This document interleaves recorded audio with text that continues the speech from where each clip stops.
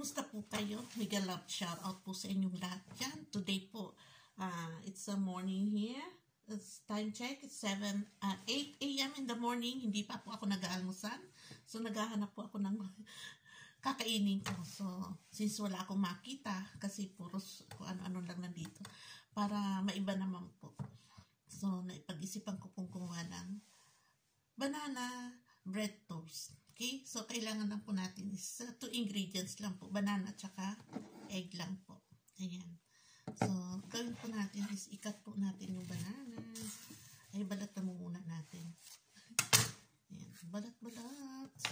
Kumusta kayo guys? Ayan. Then, slice po natin ha. Slice. Then,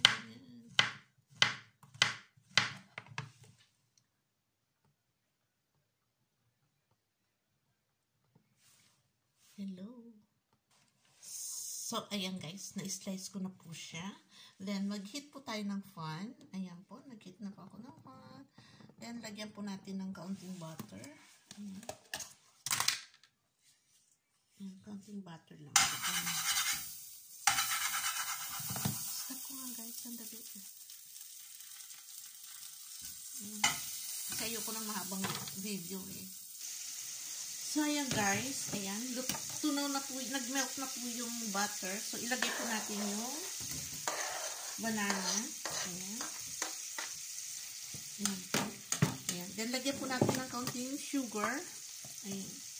Sugar. Ayan. So, lutuin po natin siya ha. Ayan.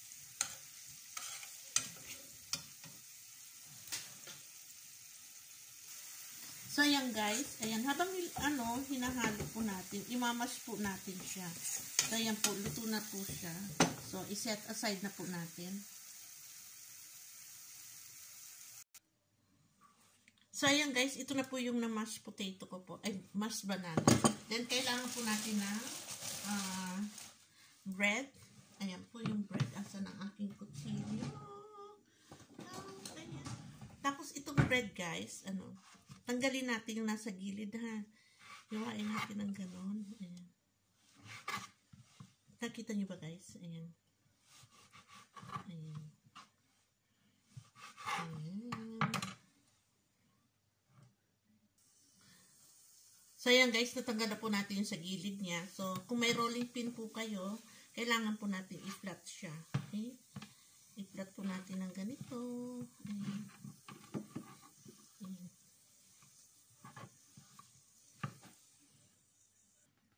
So, yan guys, after na ma-flat na po natin siya, we need 2 eggs po. Okay? Ayan, 2 eggs. Kung gusto nyo guys, kahit 1 egg lang pwede. Depende po sa inyo. Then, ano po. Okay. So, ayan guys. Ilagay, ilagay po natin to Ayan. Yung mashed banana po. Yan, ilagay po natin. Yan. Then, kailangan po natin ng brush ha. Tapos, babrush po natin yung gilid.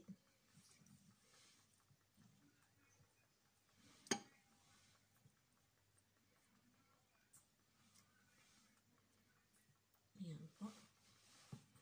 Then, i-roll po natin siya. Ayan.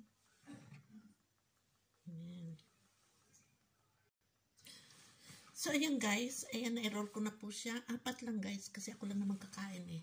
Ayan. So, ayan, mag mag-iinit po ulit ako ng fan. Ayan, lalagyan ko po ulit siya ng butter. Ayan, lagyan po ulit natin ng konting butter lang guys. Ha? Ayan.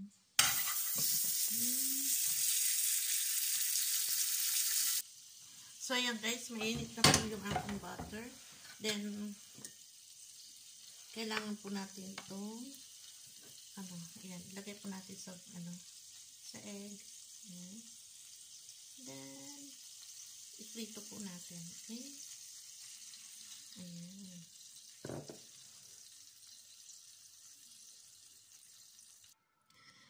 So, ayan guys.